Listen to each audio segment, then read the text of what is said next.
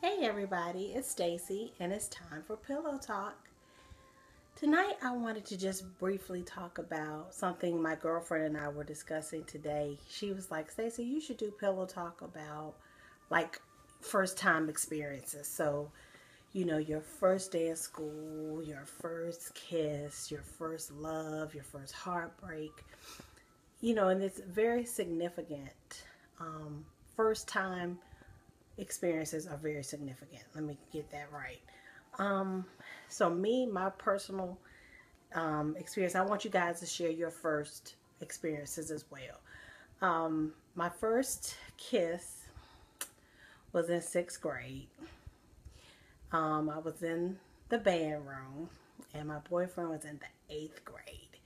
So it was at the end of the band class, and before we left, um, we kissed. Now I can't say the name because I have to protect the innocent. And um, he's married and you know has kids and stuff now, but still I'll keep that between us. But it was in sixth grade. Um, first heartbreak, I would say, as a kid, um, it was probably 10th grade. I had a boyfriend, um, long distance relationship. I mean, I just knew this was going to be my husband. You know, he was the best. He was older than me. I've always like older guys.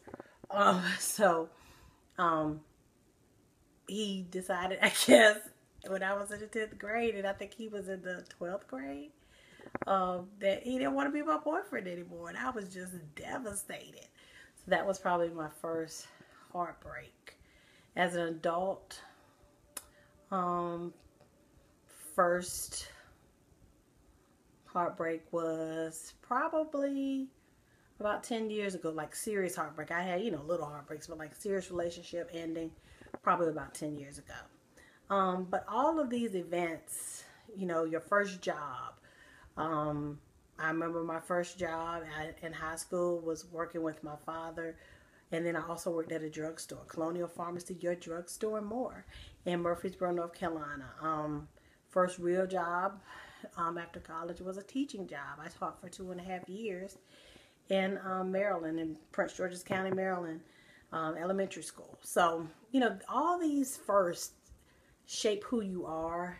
These experiences shape how you will govern yourself through life you know, those heartbreaks hurt, but they let you know what you will and won't put up with in your next relationship. It also lets you know the first love lets you know that feeling of elation. Um, you know, just a you know the good feeling of love. It's like you wish you could capture it and put it in a bottle and keep it. Like it's no words to express that, but I believe everyone should be in love at least once should have heartbreak at least once, you know, live on your own. So your first apartment, that was just awesome for me. Like I'd had roommates and stuff, but when I had my first apartment, it just was like, okay, I'm grown. I'm really grown. It was scary. It was exciting. It was liberating. You know, so your first experiences of stuff, um, they shape who you are.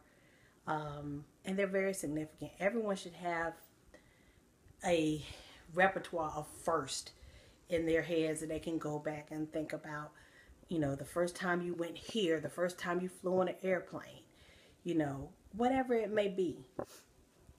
You know, and like I said, they're just very important. You know, everyone talks about, you know, um, their first, you know, argument or their first uh, child, you know, just all this first. Like, so, you know, we always remember the bad things, but we need to remember the good things too. Um, the first time you, you know, smelt a flower or first time you saw a sunrise. Like, those things are very significant too. And sometimes we just need to slow down and just take it all in and kind of bank these first experiences so we can reference them, you know, later in life when you need a pick me up. You can think about that beautiful sunrise you saw when you were in the Bahamas or, you know, whatever it may be. So that's what I wanted to talk to you guys about tonight. Just, you know, some of those first are funny. Um, some of those first are heartbreaking and sad. Um, you know, like your first, I think about the first time I experienced death, and that was with my grandparents, and you know, things like that. And they stick with you, you know, and they're, you know, they're life lessons that need to happen, life experiences that you grow from. So, you know, that's really what I wanted to say. You know, I wanted to hear from you guys. Tell me about your first, like some things you'll never forget. Like, you know, just I could just go on and on about my experiences and things I remember.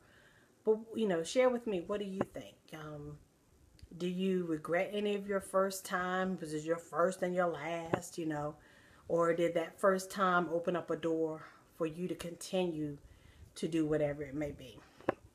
I remember the first time I did my vlog and I loved it. And as you can see, I'm still doing it. So, you know, that was a good first for me. I was nervous. And now that I go back and look at my very first vlog and then how I've gotten better, I still need to do stuff. I got to work on my editing.